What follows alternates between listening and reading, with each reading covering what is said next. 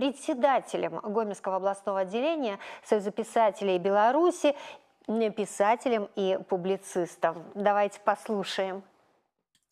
Добрый вечер, Алена. Добрый вечер, паважаныя тэлегледачы.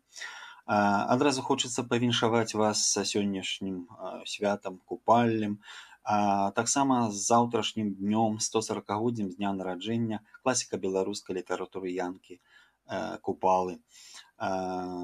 Увесь бягучы літаратурны год на гомельшчыне праходзіць пад знакам купалы і коласа, іх юбілеяў, а таксама пад знакам 29 дня беларускага пісьменства, які, якое пройдзе у добрушы у верасні пад знакам стагоддзя беларускага савецкага пісьменніка міколы гамолкі трэба сказаць што вось гэтым падзеям значным падзеям былі прысвечаны шматлікія мерапрыемствы творчыя сустрэчы.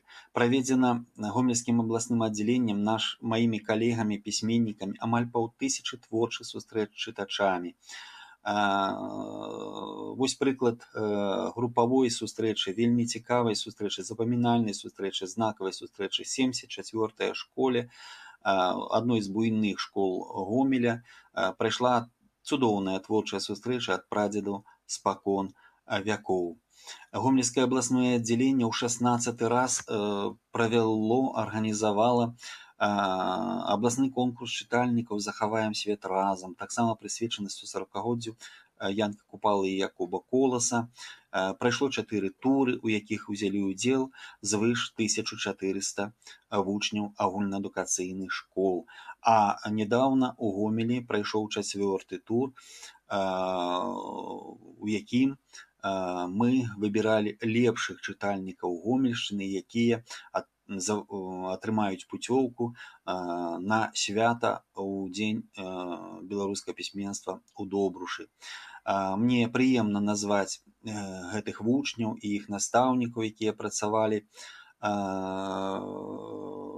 уладальнікам гран-пры сярод чытальнікаў твораў беларускіх класікаў як купал якуба коласа прызнаны вучань 9 класа дзяржаўнай установы адукацыі камунараўская сярэдняя школа буда кашалёўскага раёна арсеній лысы яго настаўніца жгарова валянціна мікалаеўна арсеній вельмі хораша і пранікнёна змог данесці да чытача урывак з паэмы новая зямля якуба коласа а сярод э, удзельнікаў намінацыі прысвечана дню беларускае пісьменства перамогу гран атрымала гран-пры заваявала саханова юлія вучаніца матнявіцкага яслі сад базавай школы чачэрскага раёна настаўніца радзькова Ганна Івановна.